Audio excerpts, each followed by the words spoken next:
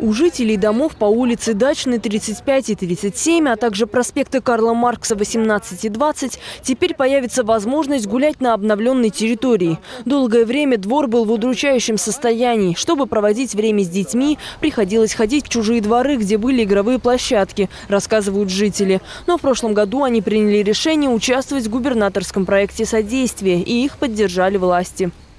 Мы все приходили, согласовывали проект. В общем, каждый вносил свои коррективы, подстраивали зоны для бабушек, чтобы им было очень комфортно, чтобы ни дождь, ни какие-то там погодные условия, ни снег им не мешали гулять.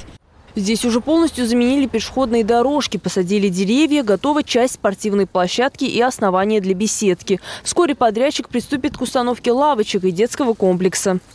Конечно, стало лучше и по красоте, и по уют, уютству, комфортабельно так, просто приятно смотреть. Дорожки такие главные, нам вот ходить прям прямо так хорошо, удобно, прям все благодарят. Пример соседей по микрорайону взяли и жители дома по улице Чернореченская, 49А. Здесь устанавливают фонтаны и благоустраивают территорию под зону отдыха. Работы начались в середине сентября и уже близятся к финалу.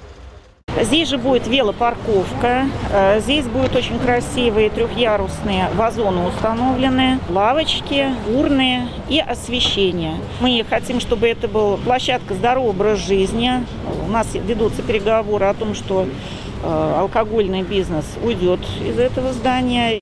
В этом году в Ленинском районе Самары по проекту содействия обновят четыре двора. Всего за период реализации государственной программы на конкурсную комиссию поступило более 800 заявок жителей города. Из них были поддержаны и реализованы более половины. На то, чтобы воплотить в жизнь все проекты из областного бюджета с 2017 по 2019 год уже направили 280 миллионов рублей. В этом году выделят еще свыше 250 миллионов. Мария Илчан, Григорий Плешаков. События.